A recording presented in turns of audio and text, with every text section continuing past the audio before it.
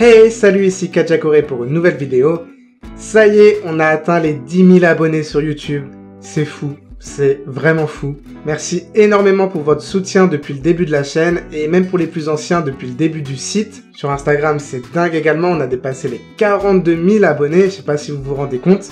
Je suis vraiment content de voir l'évolution de ce projet qu'est Kajakore et de voir que ça vous plaît, de lire vos messages de soutien, de lire vos messages qui me disent que maintenant vous arrivez à vous débrouiller en coréen depuis que vous suivez mes cours. C'est tellement gratifiant et ça donne un vrai sens à tout ça en fait. Donc, merci pour tout. Du coup, pour fêter les 10 000 abonnés de la chaîne, je vous ai demandé sur Instagram de me poser toutes vos questions, que ce soit sur moi, sur la Corée ou autre, peu importe. Je vais essayer d'en traiter un maximum dans cette vidéo. Il y en a certaines pour lesquelles j'avais déjà répondu dans la première FAQ, donc n'hésite pas à aller voir si tu ne l'as pas vu. Et il y en a pour lesquelles je ferai une vidéo entièrement dédiée, donc j'y répondrai plus tard. Et ma Fred qui demande Tu as appris le coréen comment? Il n'y avait pas tes magnifiques livres donc. Alors merci beaucoup déjà. J'ai appris le coréen par moi-même avec des ressources sur internet, en anglais notamment, des cours écrits et des vidéos. J'ai acheté très peu de livres de coréen et ils étaient pas terribles en plus, c'est d'ailleurs ce qui m'a poussé à écrire les miens. Aussi j'ai pas mal appris en discutant avec des coréens natifs sur des applications d'échange linguistique notamment. Ça permet vraiment de travailler son coréen de manière un peu plus naturel dans des situations de la vie de tous les jours plutôt que juste de la théorie des bouquins. Bibi qui demande Est-ce que tu as appris le coréen seul, sans prof? Oui, j'ai jamais eu de prof de coréen, je n'ai jamais été en école de langue, à l'université ou autre. Chua Chua, vis-tu en Corée? Yep, je vis à Séoul depuis presque deux ans maintenant. Manon Servet, pourquoi tu as appris le coréen? Alors j'ai appris le coréen pour vivre en Corée en fait, tout simplement. Pour avoir des vraies expériences locales en Corée avec des Coréens et ne plus être un simple touriste. Voilà, c'était vraiment ma principale motivation. L'inattendu, qu'est-ce qui te passionne le plus dans la culture coréenne? Hmm, je sais pas trop. Je me demande. Ah, je me pose la question, je sais pas. Aura Estique, tu as un autre métier que les réseaux sociaux et YouTube. En fait, mon métier, c'est Kajakore, c'est mon entreprise, et ça me prend tout mon temps. Déjà, il y a tous les cours du site que j'écris, il y a les articles du blog, il y a les quatre produits que j'ai sortis, donc le livre de vocabulaire coréen mes 1000 premiers mots, le livre de conjugaison, euh, le Beshrel du coréen, il y a Coréen pour tous que j'ai coécrit avec Jake de The Korean Dream, et il y a ma dernière formation vidéo, maîtriser enfin la prononciation du coréen. Donc déjà ça, ça m'a pris un temps énorme depuis la création de Kajakore. Et oui, en plus de ça, il y a tous les posts sur Instagram, Facebook et Twitter, les vidéos YouTube à faire, les emails que j'envoie chaque semaine à ceux qui sont abonnés à ma newsletter. Bref, et vu que je suis tout seul à gérer tout ça, bah euh, j'ai vraiment pas le temps de m'ennuyer ou de faire un autre métier à côté ou quoi. Léa Wario, tu vas rester en Corée toute ta vie? Honnêtement, j'en ai aucune idée. Je me sens très bien en Corée pour le moment, le rythme de vie coréen me plaît, me convient totalement. Je me sens en sécurité aussi ici, tu peux sortir n'importe où, n'importe quand, t'auras jamais de problème. Euh, les Coréens sont gentils, tout est pratique en Corée, donc pour l'instant je suis bien ici. Après, est-ce que j'y resterai toute ma vie? Ça, j'en sais strictement rien pour le moment, mais c'est envisageable, oui. Imtisana ou Amtisana, je sais pas. Pourquoi nous apprendre le coréen? Quand j'ai commencé à apprendre le coréen, j'ai trouvé très peu de supports en français et surtout des supports fiables. Il y en a pas mal en anglais, des très bien, mais pour les francophones, bah, il n'y avait pas grand chose. De gratuit et de fiable surtout. Donc très naturellement, je me suis dit, bah, pourquoi pas le faire Et je me suis lancé là-dedans, un peu comme ça, sans vraie structure. Et puis petit à petit, j'ai voulu faire les choses vraiment bien, de manière plus professionnelle, avec des cours structurés sur le site, des vidéos, etc. Et c'est ce qui est devenu le Kajakore d'aujourd'hui. Marion SLV qui demande est-ce que c'est dur de régler tous les papiers et le visa quand tu arrives en Corée? Alors non, ça va. Si tu parles d'un visa longue durée, par exemple comme euh, le PVT, le permis vacances-travail, que j'ai fait d'ailleurs, tu vas devoir faire faire ce qu'on appelle l'Alien Card, c'est un peu ta carte d'identité coréenne pour euh, un étranger, et ça se fait en prenant rendez-vous au centre d'immigration. Il y a plein d'informations sur internet, tu trouveras tout le nécessaire, donc t'inquiète vraiment pas, il n'y a pas grand chose à faire. Après, tout va dépendre de ton visa, bien sûr. Hein. Je connais pas tous les types de visas et toutes les procédures. Mais vraiment, j'ai pas l'impression qu'il y ait de grandes complications à vouloir avoir un, visa longue durée ici. Après, je parle pas de permis de résidence, etc. Là, c'est un peu différent pour le coup. Après, trouver un appartement ou une chambre, franchement, c'est très très très facile. Hein. Tu vas dans une agence immobilière, on te fait visiter. S'il y en a un qui te plaît, tu dis ah ok celui-là j'aime bien. Tu signes, on te passe les clés, c'est bouclé. C'est vraiment ultra rapide et pratique en Corée. Un poulpe pas très sympa. Est-ce qu'écouter de la K-pop aide à apprendre le coréen? Je dirais que non, pas vraiment. En fait, le fait de chanter des chansons coréennes, ça, ça peut être bien pour apprendre à lire vite et naturellement. Pour ma part, il y a une période où j'ai beaucoup traîné dans les norebang, donc les, karaokés coréens, et ma vitesse de lecture s'est vraiment améliorée à ce moment-là, mais c'est logique en fait. Après, écouter de la K-pop, euh, non. Encore moins de la K-pop que le reste, je dirais, parce que, en fait, dans la K-pop, les paroles, c'est pas des paroles très poussées. Et en plus, ce sont des chansons souvent assez dynamiques, faut que ça bouge, faut que ça rime. Du coup, la grammaire, bah, bah la grammaire, hein, il l'a oublié dans les chansons de K-pop. Hein. Après, tout ce qui est style poli, style formel, bon bah t'oublies également. Je pense qu'il vaut bien mieux lire des articles en coréen sur internet ou même lire des livres pour enfants ou des livres pour adolescents selon ton niveau. Moi, c'est quelque chose que j'ai fait pendant très longtemps et que je continue à faire d'ailleurs et je trouve que c'est hyper efficace.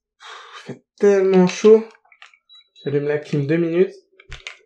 Il fait 30 degrés en ce moment en Corée, c'est l'enfer. Il fait trop trop chaud. En plus, le temps est ultra humide.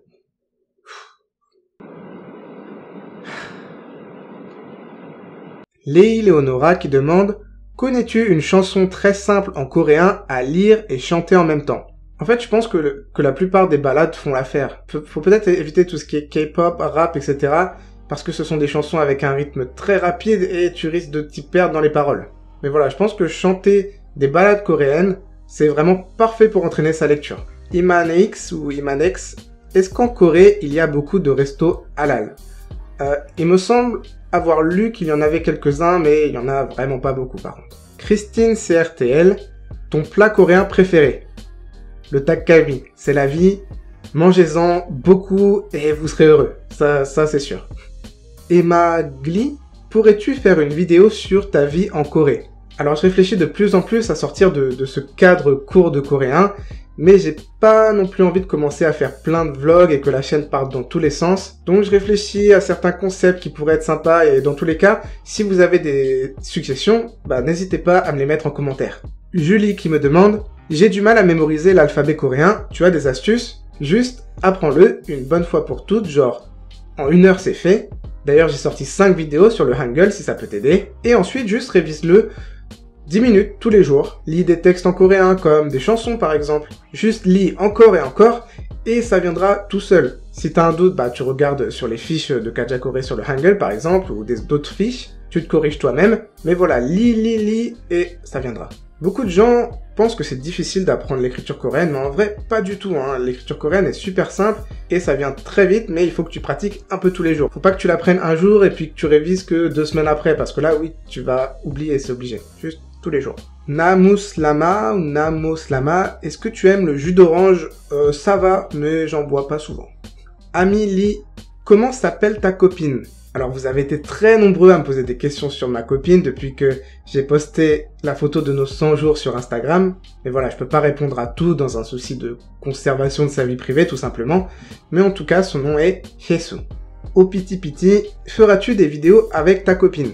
Je lui ai demandé et elle m'a dit qu'elle était totalement d'accord. Mais ce qui nous manque, c'est des concepts de vidéos à faire. Alors toujours dans l'enseignement du coréen, j'avais pensé à peut-être des sortes de dialogues, je sais pas trop, mais si vous avez des idées, eh ben dites-moi tout ça en commentaire et ça nous donnera plein d'idées pour la suite. Au piti piti encore, regardes-tu des animés?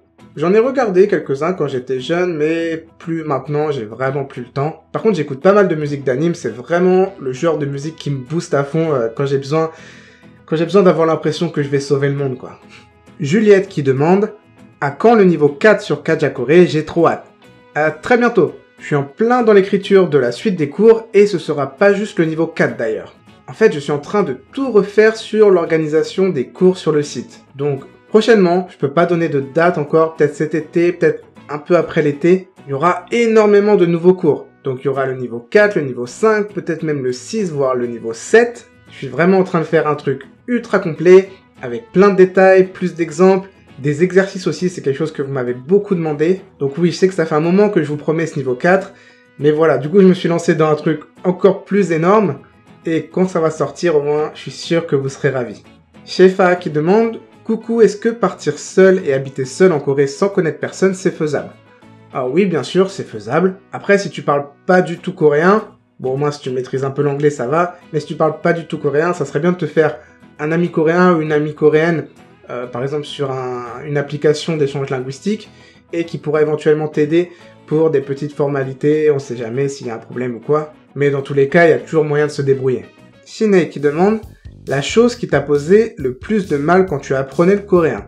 Alors avec du recul, je pense qu'honnêtement la langue coréenne est une langue assez facile, dans le sens où, comparé au français par exemple, t'as pas tant de règles de grammaire que ça, ou plein de formes de conjugaison pour chaque temps, chaque personne, etc. Alors au début on est un peu perdu parce que c'est une langue totalement différente bien sûr, mais au final je pense que la vraie difficulté du coréen, elle est dans arriver à être spontané à l'oral. Par exemple, en anglais, même si t'es pas très bon en anglais, tu peux toujours essayer de t'en sortir avec du vocabulaire. Par exemple, tu veux dire je mange une banane. Bon, bah en français, dans ta tête, tu dis je mange une banane. Ok, je c'est I, mange, eat une banane. banana, ok, I eat a banana. Et, et, ça marche en fait. Même si tu connais rien du tout à la grammaire anglaise. Mais en coréen, tu peux pas faire ça parce que les phrases sont construites d'une manière totalement différente et on va pas te comprendre. Donc à l'écrit ça va, tu peux prendre le temps de faire des corrections, de placer chaque mot là où il doit être placé, mais à l'oral, dans une conversation, arriver à être spontané et faire des longues phrases comme ça d'un coup dans le flou de la conversation, bah ça demande pas mal d'expérience en vrai, et je pense que la vraie difficulté du coréen, elle est là, pour les francophones en tout cas. Alors oui, je sais, il y a plein de nuances de verbes, oui, la prononciation n'est pas évidente, mais tout ça c'est des choses qui s'apprennent petit à petit au début. Alors que parler naturellement et spontanément, il faut, du courage, hein. ça, ça prend du temps et il faut de l'expérience. Sarah Bricole qui demande Tu préfères la nourriture de France ou de Corée? Honnêtement, j'aime les deux. Trouve que les deux sont très différentes et pas vraiment comparables en fait. J'adore la cuisine coréenne et asiatique même en général, mais j'avoue que des fois un bon petit plat français ça fait plaisir aussi. Je suis pas non plus en manque de nourriture française ici en Corée. Euh, parce que en fait la nourriture coréenne me convient totalement, elle est ultra variée en plus. Mais quand je rentre en France, un peu de pain, du bon saucisson, du fromage, euh, des bons desserts, ça fait plaisir honnêtement. Imagine, croises-tu beaucoup de personnalités connues, idoles, acteurs, dans la rue? Euh non, ça m'est jamais arrivé.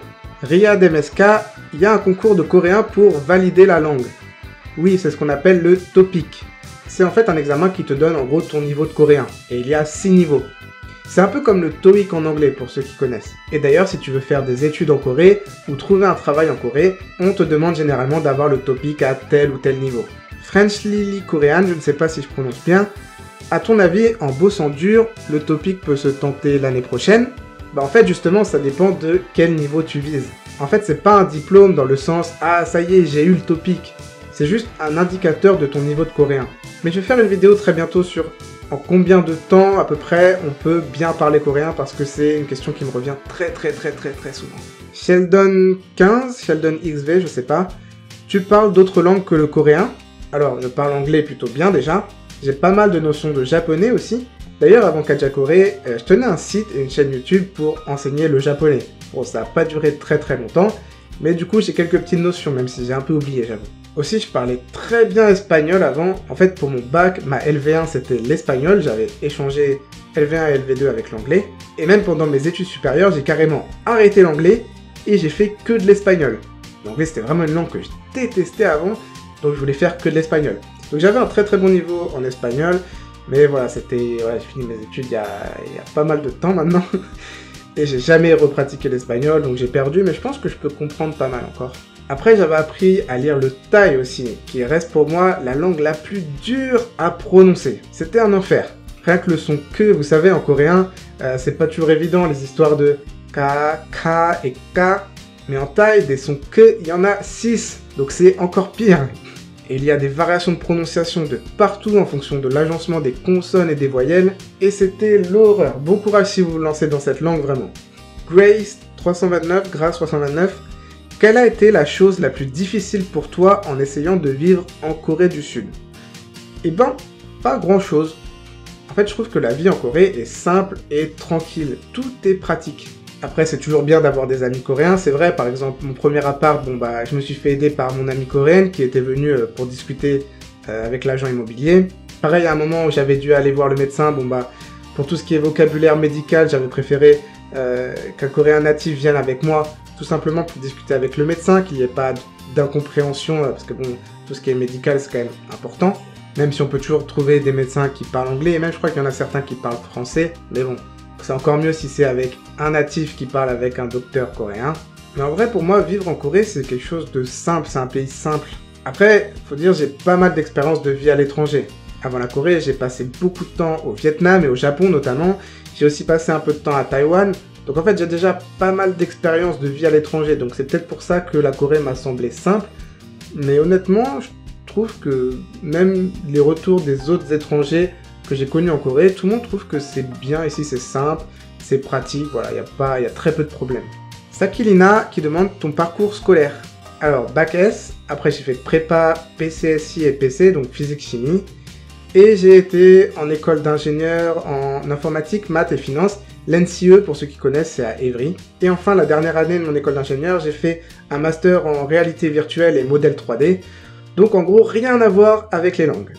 Lydie qui me demande que voulais-tu faire comme travail avant d'avoir l'idée de Kajakore En fait, après mes études, même, pendant mes études, j'ai monté une petite boîte de développement web. En fait, je réalisais des sites pour des entreprises. Puis à un moment, pendant deux ans et demi, j'ai travaillé pour une entreprise. J'étais euh, salarié en tant qu'ingénieur web. Je réalisais des applications pour euh, tout ce qui est médical, pour des hôpitaux, des docteurs, des associations humanitaires, etc. Mais voilà, j'ai fini par tout arrêter pour réaliser mes propres projets. Et c'est de là qu'est né Kajakore entre autres. Emma, que conseilles-tu d'apprendre en premier pour les débutants? Le Hangul, c'est vraiment la première étape. Et ensuite, bah, un peu de tout en même temps, un peu de vocabulaire, un peu de grammaire et de conjugaison pour commencer à pouvoir faire tes propres phrases et commencer à acquérir de l'expérience. Si tu veux une ligne directrice, tu peux tout simplement suivre les cours sur kajakore.com dans l'ordre. Degutadeg, je sais pas si je prononce correctement. Tu as quel âge? 29 euh, en âge international et 30 en Corée, voilà, c'est dur euh, Yox ou Y0X, Yang, désolé si j'écorche, quel est ton dessert coréen préféré? Lequel nous conseilles-tu de goûter? Honnêtement, je trouve que les gâteaux coréens sont pas très bons. Et ça, c'est peut-être mon côté euh, français difficile qui aime la bonne pâtisserie qui parle. En plus de ça, ça me rend souvent malade les gâteaux ici. Je sais pas si je suis le seul, mais je crois que j'ai un problème avec les gâteaux coréens. Mais par contre, il y a un dessert. C'est le meilleur dessert de toute l'histoire des desserts. C'est le bingsu. En gros, c'est de la glace pilée avec des choses dessus. Voilà, il y a plein, plein, plein, plein de sortes et c'est trop bon. Les meilleurs sont chez Solbing, vous en trouverez un peu partout en Corée, surtout à Séoul. Vraiment, essayez si vous venez, vous ne pourrez jamais regretter. Vous me remercierez même. Boko Locos, est-ce qu'il y a un mot coréen dont tu n'as jamais trouvé un équivalent en français? Alors, question très intéressante. Oui, il y a pas mal de petits mots comme ça. Et celui qui me vient directement à l'esprit, c'est le concept de Nunti. Qu'est-ce que le Nunti? C'est un peu la capacité à comprendre les autres. Pouvoir lire sur leur visage, pouvoir lire dans leurs yeux, et agir en conséquence pour mettre à l'aise la personne, par exemple, lui donner confiance et mieux comprendre ses ressentis, etc. C'est vraiment un concept dont les Coréens parlent beaucoup. Ils peuvent te dire que tu as du nunti, donc c'est que tu arrives à bien comprendre les gens, etc. Ou au contraire, si on te dit que tu n'as pas de nunti, que peut-être tu manques de tact ou que tu ne fais pas assez attention euh, aux gestes de la personne, aux expressions de la personne et à ce qu'elle transmet. Et vraiment, il n'y a pas de mot en français pour bien décrire ce qu'est le nunti. C'est un concept vraiment, vraiment profond. Sweta Bernier, qu'est-ce que ça fait d'avoir 10 000 abonnés sur YouTube? Honnêtement, j'ai un peu du mal à me rendre compte de ce que ça représente, 10 000. En fait, j'ai l'impression que c'est énorme. Ça fait tellement de gens. Ça fait vraiment beaucoup de personnes. Et en fait, surtout, ça me fait trop plaisir de voir que vous aimez mon travail, tout ce que je fais sur le site, sur la chaîne YouTube, sur les réseaux sociaux. Ça impacte un peu votre vie dans un sens, ça vous apporte beaucoup de choses. Je suis sûr que ça va ouvrir des opportunités à certains. Et ça, c'est super gratifiant en fait. C'est juste, juste dingue quoi. Juste avec des cours de coréen, tout ce qu'on peut apporter aux gens. Et dans tous les cas, bah, clairement, Kajakore ne pourrait pas exister sans vous. Donc merci très sincèrement. Merci d'être là. Merci pour votre soutien. Merci pour tous vos messages adorables. Je suis motivé à fond pour continuer. Je vous réserve plein plein plein de surprises pour les mois à venir. Je vous jure, j'ai tellement de choses dans ma tête, c'est incroyable. Donc tout ça, ça va se mettre en place petit à petit. Mais en tout cas, Kajakore n'est pas prêt de s'arrêter, ça je peux vous le garantir. Et je voulais profiter de cette vidéo pour remercier mes nouveaux tipeurs de ces derniers mois. Donc Delphine, Hello, Let's Go Tipeee, Gaël, Charles Sang et Anissa. Merci énormément pour votre soutien envers la chaîne. Ces dons sur Tipeee, ils me servent notamment à payer euh, le serveur pour le site, tous les logiciels que j'utilise pour créer des vidéos, créer les posts sur Instagram, etc. Tous les outils web dont j'ai besoin pour faire marcher Kajakore, donc par exemple tous les envois d'emails, la gestion du site, etc.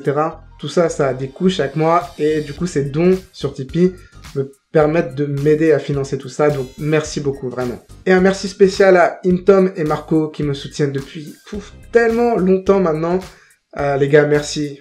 Merci vraiment, vous êtes les meilleurs. Voilà pour cette FAQ, j'espère que ça vous aura plu. N'hésitez pas à m'écrire plein de suggestions dans les commentaires de ce que vous voulez voir sur cette chaîne, sur le site, ou si vous avez des idées de livres que vous voulez que je crée. Je suis toujours à votre écoute, donc vraiment, n'hésitez pas à me laisser des commentaires ou à m'écrire en me contactant sur, sur les réseaux sociaux ou par email, peu importe. Dans tous les cas, je vous dis à la prochaine pour une nouvelle vidéo. C'était Kajakore.